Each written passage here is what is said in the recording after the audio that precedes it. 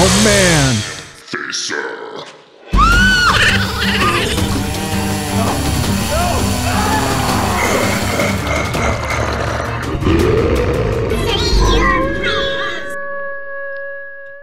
Hey, what's going on, campers? Campfacer here. Welcome back to another Texas Chainsaw Massacre the game video. Today I'm going to show off some new gameplay footage that Gun Interactive just recently showed off in their last uh, video on YouTube.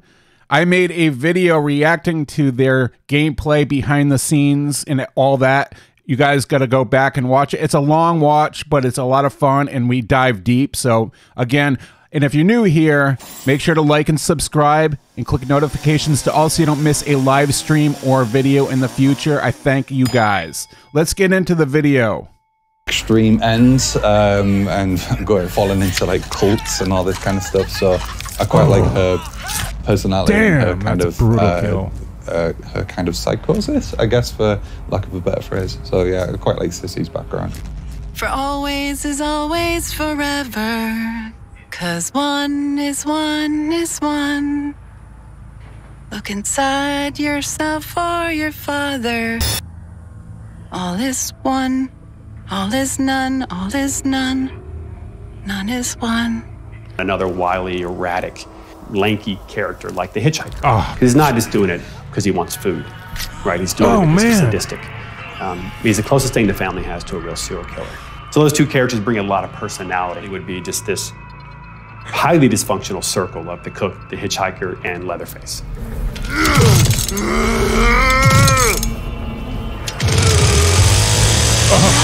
Oh, man. Some pigs, some arm on the table. Um, it felt like it'd be a, a letdown to the fans not to have what felt like a real, actual chainsaw.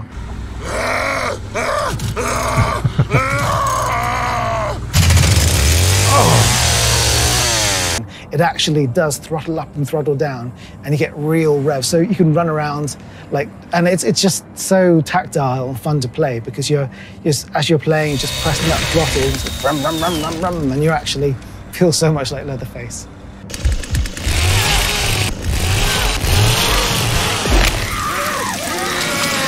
Wow. All right, hold on.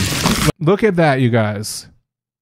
It's at night. He missed. He hit a piece of metal. It sparked and it shot like a reflection. This game is going to be a lot of fun. Wow. This is going to be awesome. Got her.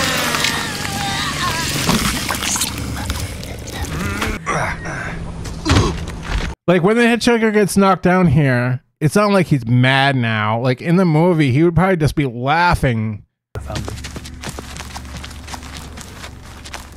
Look at the. Ah, here we go.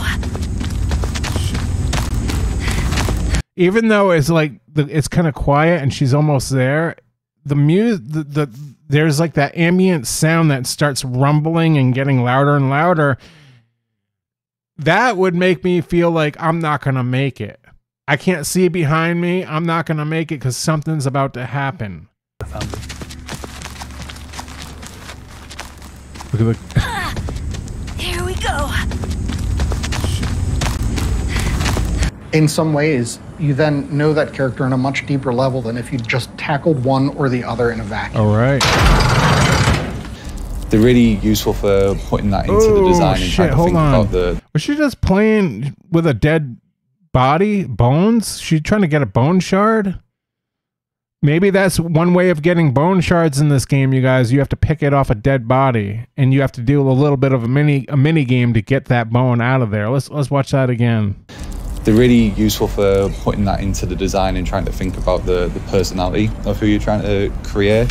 Um, and this this is wow. going to sound like a bad thing, but background of the character is quite important when it comes to designing.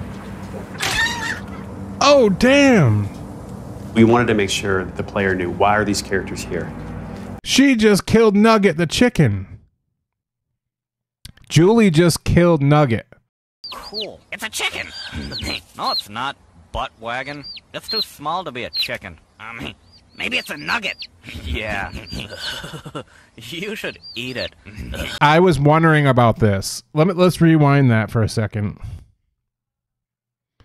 I brought this up a long time ago because you guys Nugget the chicken is going to be on every map. And if you walk by that chicken, it's going to go haywire and alert the family that you're there if it sees you. And I always made a joke like, if I see that chicken, I'm going to kill it. And I didn't know if that was actually a thing or not, but apparently you can. I feel bad for Nugget. Let's watch that again. of the character is quite important when it comes to designing. Oof. But what did she We do? She wanted to make karate sure chopped the it? player knew why are these characters here. Hell yeah. That was pretty cool gameplay. I'm excited about this, you guys. There's a few things I want to touch base on though. When Sissy is singing that song and she as she's slashing the victim, that's actually a Charlie Manson song. Because the video that Gun posted the other day that I did a video on yesterday, they they talked about how Sissy's backstory. She left the family. She rebelled against the Sawyer family, and she went off on her own.